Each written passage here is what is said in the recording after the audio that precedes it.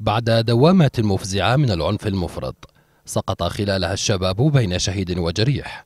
قدم رئيس الوزراء عادل عبد المهدي استقالته لمجلس النواب معلنا أن حكومته ستكون حكومة تسيير أعمال فقط حتى تشكيل حكومة جديدة. الحكومة باقية تقوم بأعمالها كالمعتاد لكن إذا صوت مجلس النواب بقبول الاستقالة فتتحول إلى حكومة تصريف أعمال يومية.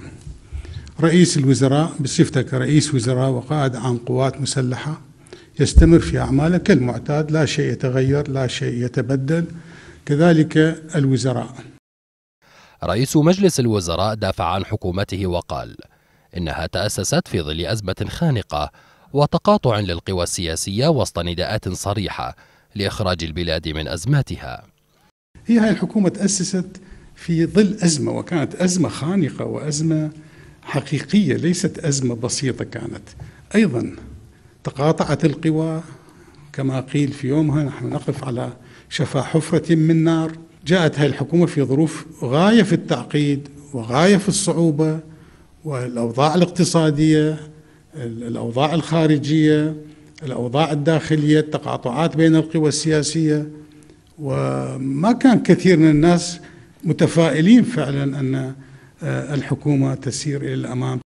محللون قالوا إن استقالة عبد المهدي كانت متوقعة لكنها أمام خيارين إما أن يقبلها البرلمان أو يرفضها مع أن الشواهد السياسية ودعوة المرجعية الأخيرة تجبر البرلمان على قبولها مؤكدين أنها ستحدث فراغا سياسيا يجعل العراق أمام تحديات جديدة. نواب في البرلمان قالوا إن اختيار رئيس الوزراء الجديد سيكون أصعب المراحل السياسية مشيرين إلى أن مجلس النواب يسعى إلى تداول سلمي للسلطة بعيدا عن التدخلات الخارجية وإنهاء الأزمة بين الشعب والحكومة والقوى السياسية بشكل شفاف وواضح وتحت غطاء الدستور والقانون. استقالة رئيس الوزراء بحسب قياديين في الحزب الديمقراطي الكردستاني ستؤثر سلبا على إقليم كردستان والذي يرتبط سياسيا واقتصاديا ودبلوماسيا بالحكومة الاتحادية.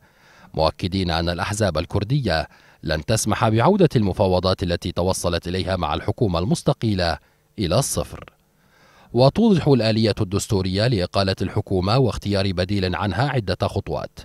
أولها موافقة الأغلبية المطلقة لأعضاء البرلمان وبموجب هذه الآلية فإن رئيس الجمهورية برهم صالح هو من يتولى رئاسة الحكومة عند خلو المنصب ثم يكلف في مدة أقصاها 15 يوما مرشحا آخر لتشكيل الحكومة وفقا للمادة السادسة والسبعين من الدستور. ويمكن إقالة الحكومة بالأغلبية المطلقة لعدد أعضاء البرلمان وتعد الحكومة مستقيلة في حالة إقالة رئيسها.